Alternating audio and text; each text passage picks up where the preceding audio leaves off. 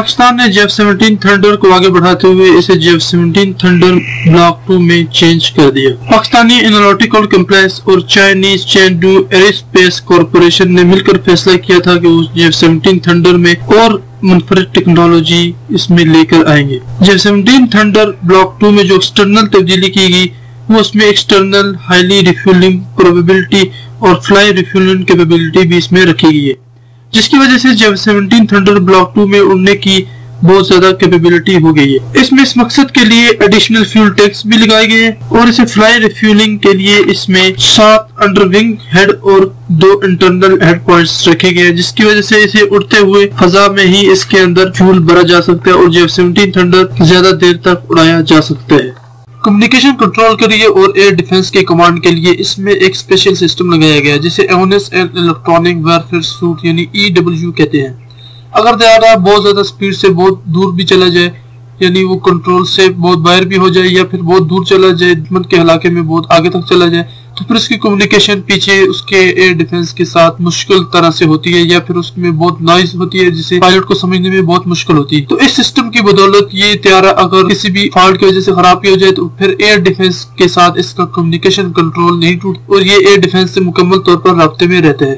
G F seventeen block two میں tactical مسائلوں کو ہینڈل کرنے کی، انہیں کور کرنے کی صلاحیت بھی موجود ہے۔ گراؤنڈ سے جو فائٹر پر جو دو طرح کے میزائل فائر کیے جاتے ہیں، وہ ایک ہیٹ کا پیچھا کرتا ہے اور دوسرا سٹاف ریڈیو ویس کا پیچھا کرتا کرتے تیارے کے ساتھ جا کر ٹکرا کر اسے تباہ کرنے کی صلاحیت رکھتے ہیں۔ جبکہ اس میں فلر سسٹم جبکہ یہ دوسری طرف فلر پھینکتا ہے، جس کی وجہ سے ہیٹ پروڈیوس ہوتی ہے اور ہیٹ میزائل سے یہ بچ جاتا ہے۔ دوسرا یہ سٹرانگ ریڈیو ویس دوسری طرف پروڈیوس کر کے اس طرح کے میزائل سے بچنے کی صلاحیت بھی رکھتا ہے۔ G F seventeen Thunder block two میں اسے اپ گریڈ کر کے لگایا گیا ہے۔ G F seventeen block two میں بہت زیادہ ایکسٹرا فیچر ایڈ کیے گئے ہیں، جنہیں ہینڈل کرنے کے لیے اس میں دوسری سیٹ بھی ایڈ کی گئی ہے۔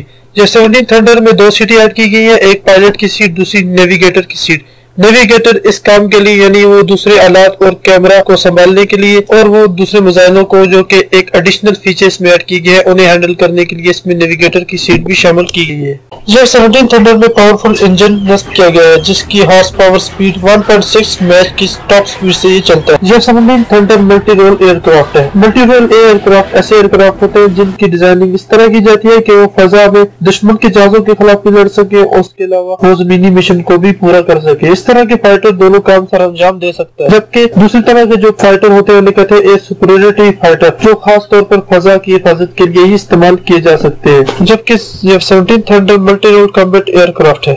جب سیونٹین بلاک ٹو کی آپریشنل رینج بارہ سو کلومیٹر ہے۔ اب ہم بات کرتے ہیں پاکستان جی JF seventeen thunder block two کی ویپنز کوالٹی کے بارے میں یعنی اس کی ویپنز میں کون کون سی اپگریڈیشن ہوئی ہے؟ G JF seventeen Thunder block two air to air short range اور میڈیم رینج میزائل فائر کرنے کی صلاحیت رکھتا ہے۔ اس کے علاوہ اس میں چار پی ایل ون ٹو اور ایس ڈی ٹین بھی میڈیم رینج میزائل فائر کرنے کی صلاحیت بھی موجود ہے۔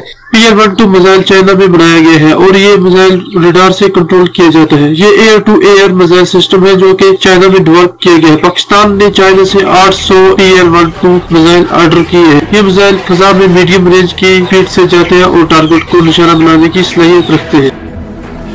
پاکستانی ساختہ دوسرا جو air to air missile system G F seventeen Thunder block two میں استعمال کیا گیا ہے، اس کا نام ہے S D one zero B. یہ میزائل سسٹم گہرے اندھیرے میں اور یا پھر دھند میں ٹارگٹ کو نشانہ بنانے کے لیے ایک مخصوص طریقے سے ڈیزائن کیا گیا ہے۔ یہ ایک سیمی ریڈار سسٹم میزائل ہے جو کہ ریڈار اور فائٹر جیٹس دونوں سے کنٹرول کیا جا سکتا ہے۔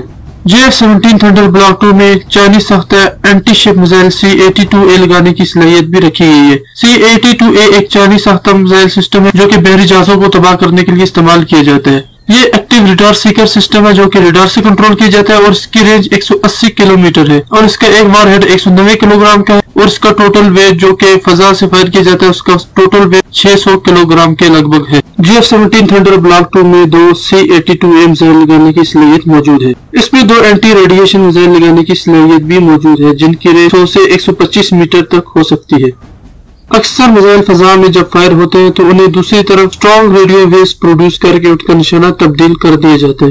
یا پھر دوسری طرف ہیٹ پروڈیوس کر کے ان کی ڈائریکشن بھی تبدیل کر دی جاتی ہے۔ لیکن اینٹی ریڈیشن میزائل ان سے متاثر نہیں ہوتا اور وہ سیدھا ٹارگٹ کے پاس جاتا ہے اور اسے ہر قیمت پر تباہ کرتا ہے۔ پاکستان کے پاس جو اینٹی ریڈیشن میزائل ہے، اس کا نام ہے L D one zero L D one zero اسی کلو گرام کا وار ہیڈ لے کر ٹارگٹ کو تباہ کرنے کی صلاحیت رکھتا ہے۔ اور یہ ایکٹیو ریڈار سیکر یعنی ریڈار سے بھی کنٹرول کیا جا سکتا ہے اور یہ جیٹ سے بھی کنٹرول کیا جا سکتا ہے۔ اس کے علاوہ اس میں پانچ سو کلو گرام کے بانس لگانے کی صلاحیت بھی موجود ہے۔ جو دو سو پچاس کلو میٹر کی رینج کے فائر کرنے کی صلاحیت رکھتے ہیں۔ اس میں رن وے کو نکارہ بنانے کے لیے اینٹی رن وے بامس بھی لگائے جاتے ہیں، جو کہ کرسٹرز بم اور ایم آئی ایم آئی بم لگائے جاتے ہیں، جن کا وزن چھ سو سے آٹھ سو کلو گرام تک ہوتا ہے۔ پاکستان کے پاس اب تک J F seventeen block two کے پچاس سے زیادہ تیاری موجود ہیں اور آئندہ بھی اس بلاک کی تیاری بنائے جائیں گے۔ Pakistan J F seventeen Thunder block three کی تیاری بنانے کی بھی اب کوشش کر رہے ہیں انشاءاللہ نیکسٹ ویڈیو میں ہم دیکھیں گے کہ اس میں کیا اپ گریڈیشن ہوئی ہے اور کیا موڈیفیکیشن پاکستان اس میں کر رہا ہے۔